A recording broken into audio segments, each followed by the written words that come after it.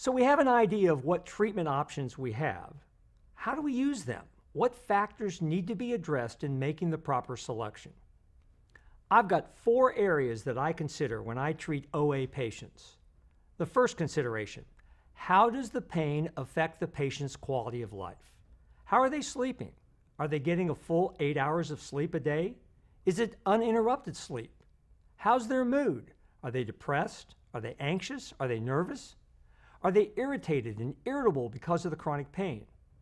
What about their work or play? Maybe they can't stand eight hours a day or bend over to use a wrench and therefore have to change occupations. Maybe they can only play nine holes of golf instead of 18. It's a life altering disease, and we need to ask the patients these kinds of questions to choose the right therapy. My second consideration how often does the patient require medication? Every day or just as needed? This goes back to the stepped care approach. Give them enough to gain relief from their pain and start adjusting from there. We're looking for a response, not total resolution of their pain. The third consideration what comorbidities exist in the patient? Let's look at some specific ones. Cardiovascular risks, such as coronary artery disease or hypertension, can increase with the use of NSAIDs. What about chronic kidney disease? If their GFR falls below 60 and they move into stage 3 chronic kidney disease, you have to be careful in selecting medications. GI bleeding risk is increased with NSAID use, and that risk is even higher when NSAIDs are combined with other medications like anticoagulants, steroids, or multiple NSAIDs such as aspirin and ibuprofen. With acid related GI disorders, we know that 30% of NSAID users have gastric ulcerations, and a third of OA patients use an NSAID every day. Therefore, we may require the use of a PPI, like omeprazole or esomeprazole, in order to mitigate the GI risks. But realize that chronic use of PPIs may cause some other ill effects, such as lowering magnesium or increasing the risk of osteoporosis. So, giving one medicine to help prevent the complication of another can cause more complications in themselves. Patients older than 65 are at a greater risk of adverse events. Older people have multiple diseases and are on polypharmacy, taking multiple medications. They may be starting to get cognitive dysfunction. So these patients are at risk just because they're 65. And then add on polypharmacy and their comorbid conditions, and you have potential problems. Hepatic damage is also a risk, which can be associated with fatty liver, hepatitis B or C, or cirrhosis from alcohol abuse. We always worry about acetaminophen and hepatic risk, but we know that the risk is low and we should keep the dose to 4,000 milligrams a day or lower.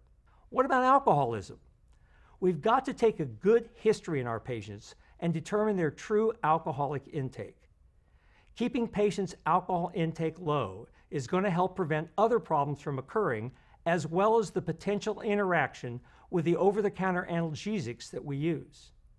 It's also important to take a smoking history. They could be a current smoker, or maybe they live with a smoker. Both have increased risk of GI bleeding or hypertension. It's just something that we need to think about in our considerations for over the counter analgesic use. 85% of patients with osteoarthritis have a coexisting medical condition. If you look at this graph, you see that over half of them have hypertension. Many have osteoporosis, diabetes, COPD, and on and on. This is a polycomorbid problem, and this disease has the highest rate of comorbidities. This is a challenge when you're making a treatment decision. What are some of the other considerations in the patients that we're treating? Who's at risk, and what are those risks? Well, there are many risks associated with over the counter medications that some healthcare providers may not be considering. The good news with aspirin is that it gives some cardiovascular protection, but that protection can actually be negated with the use of ibuprofen. Using NSAIDs longer or more than directed may actually increase the risk of heart attacks or stroke. We know they can elevate blood pressure. It seems like the longer you're on the medication, the more apparent these risks become. NSAIDs are contraindicated in patients with kidney disease. We know that there is an increased risk of GI bleeding and ulcers in patients taking some specific concomitant medications in addition to the NSAIDs. For asthma, this is a time that aspirin can be the bad guy because we see aspirin-induced bronchospasm in some patients who have asthma. And then finally, consider potential for liver damage with acetaminophen. Now, Dr. Sulich will talk more about this. We know that acetaminophen related liver damage can be a serious issue when taken at more than 4,000 milligrams per day. Finally, my fourth consideration is realizing what medications the patient currently takes. Because once again, remember, we are often dealing with a polycomorbid patient taking polypharmacy. This includes prescriptions that you're giving them, but keep in mind that many of the patients may see a specialist, and if they do, do you write those medications or does the specialist? The patient may not tell you about the medications that the specialist gives them. So make sure you ask. Even though you're not responsible for writing that prescription, you are responsible for knowing that the patient's taking that drug. It's also important to ask about over the counter medications and herbal supplements because some patients may not consider these to be medications. 50% of Americans take a vitamin, herb, or supplement. Knowing what medications your patients are taking will help you make a safer recommendation. And finally, I just can't tell you enough. Take a good history of the habits of your patients. This slide shows that osteoarthritic patients are prescribed more medications than people who don't have osteoarthritis. They take more opioids, more NSAIDs, more benzodiazepines, more SSRIs, and on and on. Our osteoarthritic patients are taking more medicines than those who don't have the pain of osteoarthritis. This means it's especially important to pay attention to everything they are doing and taking, as this is a very complex population. Now it's time to put things into perspective about what we just learned. Let's go back to our patients and see how we would treat them. Our 72 year old female, she comes to your office with bilateral knee pain. You make the diagnosis of osteoarthritis by the history, the physical, and x rays of her knees looking at her polycomorbid conditions and all of her medications, you consider her cardiovascular risks because even though she doesn't have coronary artery disease, she has a coronary artery risk equivalence with her diabetes. So you got to be very careful about this. And she's already on an 81 milligram of aspirin. Because it's her knees and a localized joint, a topical capsaicin might work for her. I would put her on 500 milligram QID dose of acetaminophen and see how that works. We could then either increase or decrease the dose based on her response to therapy. I'd also give her a prescription for PRN tramadol and carefully discuss when to use it. Always being mindful of the total dose of acetaminophen, and that's why it's important to find out what over the counter medication she's taking. Once again, get the whole picture. Now let's look at our 59 year old gentleman and his treatment plan. Obviously, we want him to lose a little weight and start on an exercise program.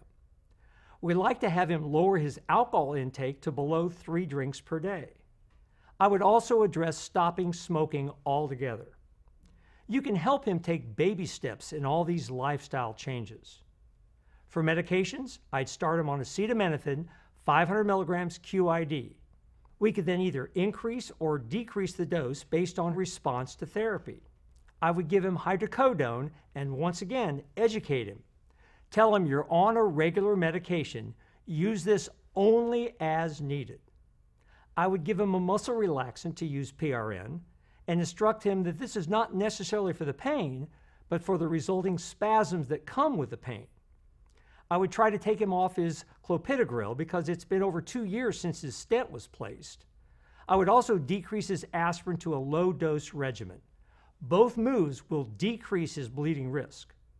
The final thing we need to address is when do I send a patient to a specialist, either a rheumatologist or an orthopedic surgeon?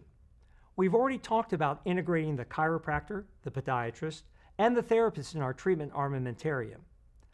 I approach a referral source when I have a complicated patient and I've maximized my comfort level of medications, so I need some help. I'm just not getting anywhere and maybe I'm missing something. That's the patient I'd refer. Someone that's got a mixed component to their osteoarthritis. Maybe they have gout or pseudogout. Maybe they have a collagen vascular disease like lupus or scleroderma. So I would ask the rheumatologist to take a look at my patient to see if they have any other suggestions or ideas in the workup or treatment of this patient.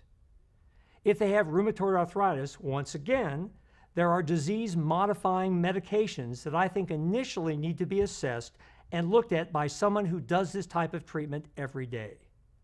If you're a primary care doc and you see a lot of rheumatoid arthritis patients and you feel comfortable with this, great. But I like to have them initially seen by the rheumatologist. Tell me what they ought to be on, and I can monitor the side effects. If you're uncomfortable performing injections, many rheumatologists are competent in doing this. The orthopedic surgeons can also perform injections. And then finally, if pain control is not where it needs to be, the patient may need to have a joint replacement, and that's when I would call in the orthopedist. So today, we've revisited osteoarthritis as a disease state and see that it alters people's lives. We've looked at comorbid conditions that exist with osteoarthritis and in this age group. We have also looked at the polypharmacy that these patients are on that could interact with medications that we're recommending. Then we put this into application by looking at a couple of patient profiles and gave you an idea of the kind of patient that you may be seeing in your office that would make the yellow lights go off in your brain to say, okay, what do I want to do to treat them, to give them relief, but to cause them no harm? Well, I hope I've answered that question for you.